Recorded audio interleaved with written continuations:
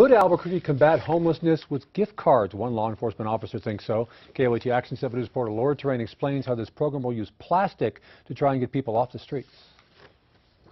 When police are called to help a disruptive or unruly homeless person, there are only a few places an officer can take them. You can either take them to the hospital if they meet that criteria, or they end up unfortunately incarcerated. But now police have a new tool. Officer Matt Tinney's co-founded Helping Hands with psychiatrist Dr. Nils Rosenbaum.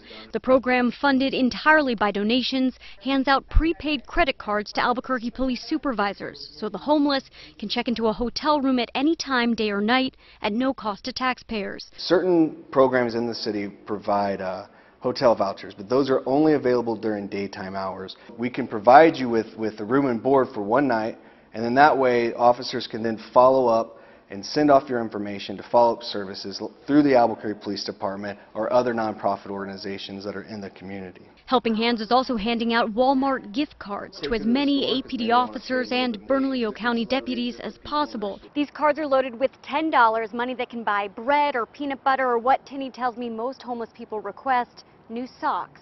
It may not sound like much, but as someone trained in crisis intervention, Tinney says the offer of a few bucks or the promise of a night in a warm bed can help keep tense situations from boiling over. Because if we can at least try to stop the crisis, then we can prevent, hopefully, the, the tragedies that come down the line. Plus, he says this speaks to the core values of what police do. Officers in general truly want to become law enforcement to help people.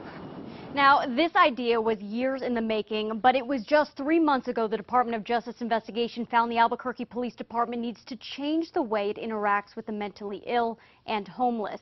If you're interested in donating to the program, go to KOAT.com and click on As Seen on 7.